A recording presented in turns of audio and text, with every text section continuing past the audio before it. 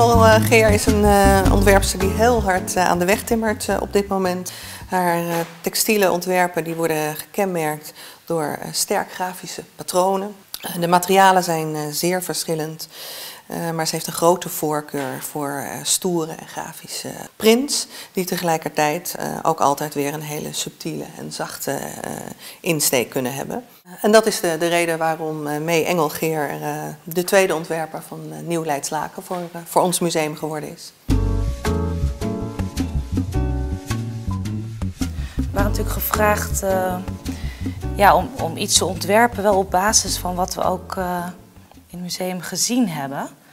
En nou ja, eigenlijk was dat direct duidelijk, want natuurlijk hier uh, eerst de, de, website zo bekeken voordat we echt naar het museum gingen. En toen uh, was mijn oog al gevallen op, uh, op al die kleine ja, staaltjes in, een, in het boek.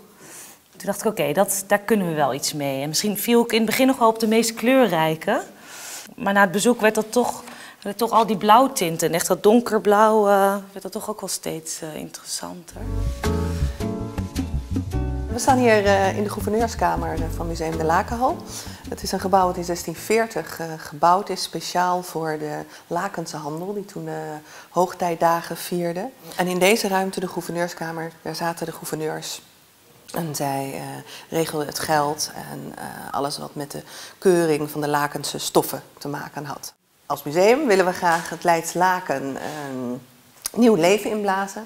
En we hebben het uh, project Nieuw Leidslaken bedacht, uh, waarin we de komende vijf jaar een aantal kunstenaars en ontwerpers opdracht gaan geven om nieuwe wollen stoffen voor ons te ontwerpen. Na Christy van der Haak, die vorig jaar de opdracht kreeg om een wollen stof te ontwikkelen, hebben we dit jaar een open call uitgeschreven voor ontwerpers onder de 35 jaar. Met een professionele jury uh, zijn we tot drie genomineerden gekomen. We hebben toen het publiek gevraagd of zij daarop wilden stemmen. Dit is een stof van uh, Thomas Eurlings. Hij heeft een hele mooie, soepele, dunne stof uh, uitgekozen, een lakense wollen stof. En hij heeft daar een patroon van sleutels, spiegeltjes, af en toe een profiel van hemzelf opgeborduurd. Remy Veldhoven. Zij had een uh, heel bijzonder concept voor uh, de ontwikkeling van dit patroon. 40 banen, zo. En dat verwijst naar de, het aantal mensen dat nodig was om een lakense stof te produceren in de 17e eeuw. Mee Engelgeer uh, maakt dus de tweede nieuwe lakense stof. Dit is nog maar een proeflapje, maar er komt natuurlijk een grote, echte rol uh, van 50 meter die we laten produceren. Op deze tafel uh, gaan we een, uh, vernieuwde installatie maken waarin zij laat zien hoe ze tot dit ontwerp gekomen is met foto's, met schetsen en ook een aantal toepassingen van de stof zelf. Het idee is natuurlijk ook dat die stof straks weer verkoopbaar wordt of dat mensen eventueel een stukje mee naar huis nemen of een product daarvan. Dus dan nemen ze eigenlijk weer een stukje archief mee. En ik vond het leuk om daarmee te spelen van... Ik heb het me laten inspireren door het archief. En dat wordt stof. Maar straks wordt die stof eigenlijk ook weer een stukje archief, een stukje geschiedenis. Dus daarom, daar, ja, daar komt de, de titel dan uh, vandaan. Um, archive as fabric and fabric as archive.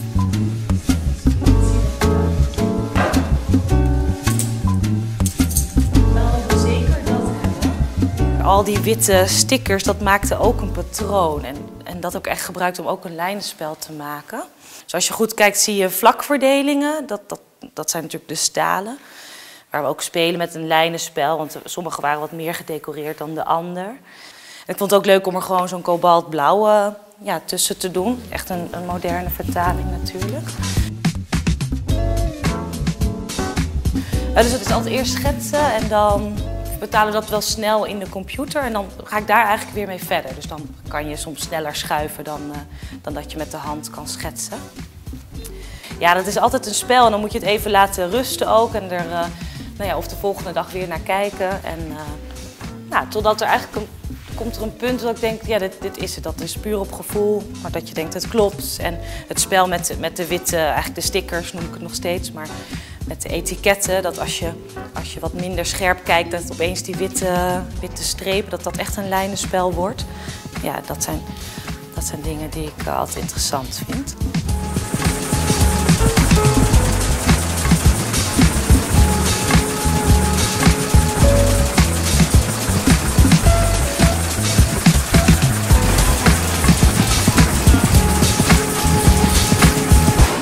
eigenlijk zie ik het hier ook. Dit is ook een archief. Als ik hier ben en ik zie de garens en de mogelijkheden en, en kleine stalen. Eh, ja, ga je, ben je hier ook echt aan het ontwikkelen, maar vanuit ook ja, een archief. En, en doordat ik hier ontwikkel, bouw ik ook mijn eigen archief weer. Dus vaak op de computer hebben we natuurlijk verschillende bestanden die we al gemaakt hebben. Dus daar put ik dan ook weer uit om weer iets nieuws te maken.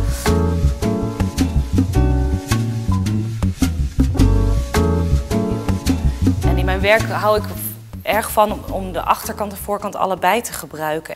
Daar zie je alle kleuren en alle garens die door het hele doek gebruikt worden, die worden daar vermengd. En vind ik het juist interessant dat als je een stof uh, omdraait, dat er iets totaal anders uh, ontstaat. En deze stof heeft wel dus heel veel garens. Dus dat gaat wel door, het heel, door de hele stof mee. En aan de achterkant heb ik speciaal gevraagd van daar mag het wel, daar mag dat wat meer zichtbaar zijn, iets losser. En ook uh, op alle lijnen tussen de stalen in, daar is de stof wat strakker geweven, waardoor je toch ja, toch een gevoel krijgt dat, dat, het, ja, dat dit echt het, een staal is. Dat dit een andere kwaliteit bijna is. En daar heb ik allemaal twil, uh, twil op gezet. Ja, ik vind zodra je zoiets doet, dan, dan wordt een stof echt en minder plat dan uh, wanneer je gewoon een platbinding uh, gebruikt.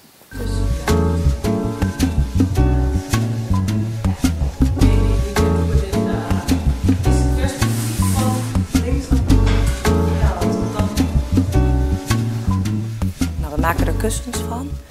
Uh, waardoor je ook eigenlijk weer random een stuk uit de stof haalt. Dus dan laat je ook de hele vlakverdeling weer een beetje los. En ja, ga je daar eigenlijk weer op inzoomen, weer in detail uh, uitpakken. En dat, dat is de hele tijd een beetje spelen met die kleine stukjes stof in, in die map, wat mij dus aansprak.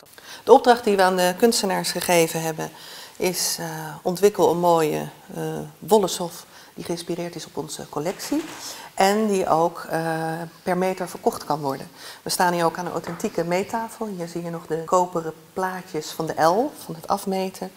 En uh, als wij straks als museum uh, gerestaureerd en gerenoveerd zijn, dan hebben we beneden een nieuwe winkel. En daar zullen dan um, minimaal vijf nieuwe lakense stoffen te koop zijn, die per meter gewoon aan de meettafel verkocht kunnen gaan worden.